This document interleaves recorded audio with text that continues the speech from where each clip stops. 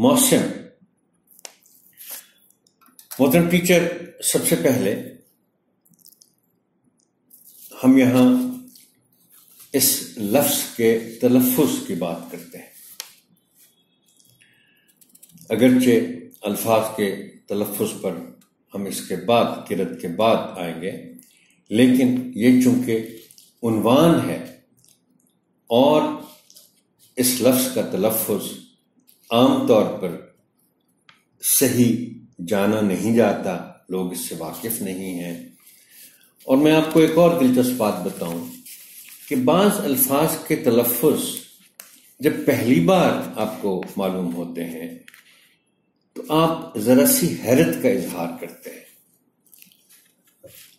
आपसे मुराद सिर्फ़ आप नहीं हैं, बल्कि तमाम पढ़ने वाले, बोलने वाले वो कहते हैं, बाजुकात कि आपको तबसरा सुनने को मिलता है। कि अच्छा ये तो हमने कभी नहीं सुना था।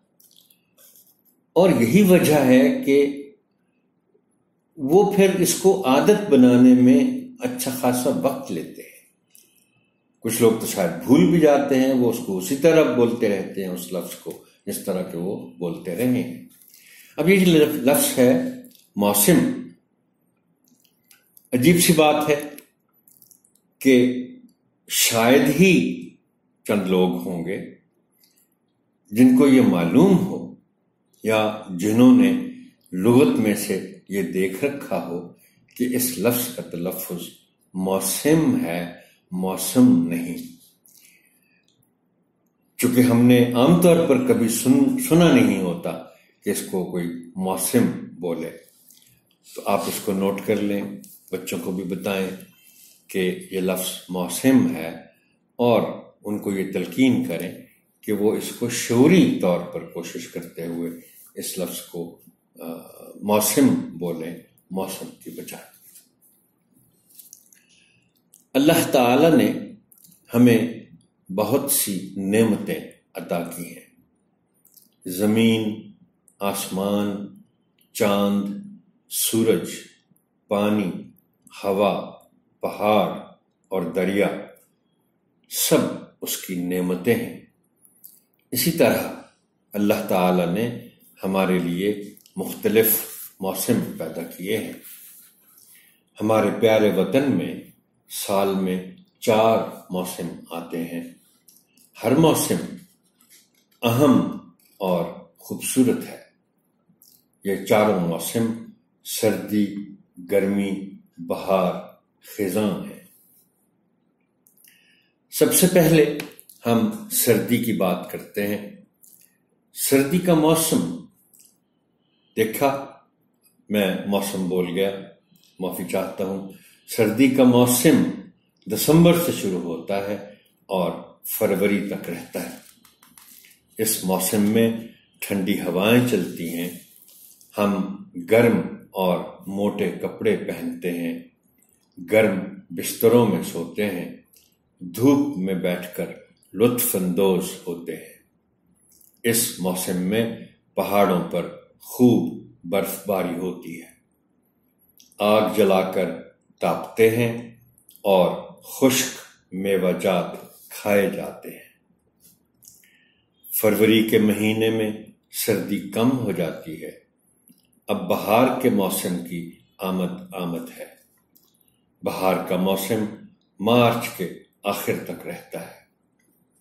ये मौसम बहुत खूबसूरत होता है। इस मौसम में न ज़्यादा गर्मी होती है और न सर्दी। मौसम में बहार में दरख्त और पौधे खिलने लगते हैं। हरी भरी कोंपलें निकलती हैं। रंग बिरंगे फूल खिलते हैं।